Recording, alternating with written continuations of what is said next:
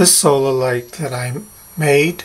I put it out for a couple of nights to test it and it seems to last through the whole night. So it's not all that bright. The uh, one that runs on a Joule Thief, but it's okay. It's like a it's like a not so bright solar solar light. Uh, this is how it looks shining on the reflector. And as I go into a darker place the uh, solar light that is on top comes on. You can see both of them are on now. And of course uh, this has to do with the light sensitivity of the photoresistor. It's pretty cool looking.